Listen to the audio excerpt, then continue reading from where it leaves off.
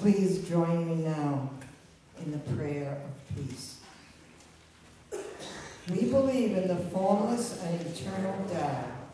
We reject hatred, intolerance, and unnecessary violence, and embrace harmony, love, and learning as we are taught by nature. We place our trust in our lives in the Tao, that we may live in peace and balance with the universe, this mortal life and beyond. Heaven is my Father, and earth my mother, and even such a small creature as I finds an intimate place in its midst. That which extends throughout the universe I regard as my body, and that which directs the universe I regard as my nature. All people are my brothers and sisters, and all things are my companions.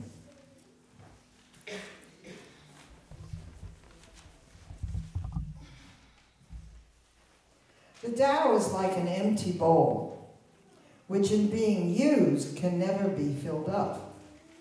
Fathomless it seems to be the origin of all things. It blunts all sharp edges, it unties all tangles, it harmonizes all lights, it unites the world into one whole. Hidden in the deeps, yet it seems to exist forever. I do not know whose child it is. It seems to be the common ancestor of all, the father of all things.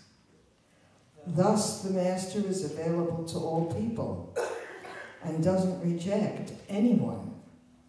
He is ready to use all situations and doesn't waste anything. This is called embodying the light. What is a good man but a bad man's teacher?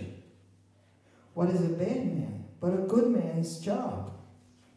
If you don't understand this, you will get lost, however intelligent you are. It is the great secret. Through working in harmony with life circumstances, Taoists understand changes what others may perceive as negative into something positive.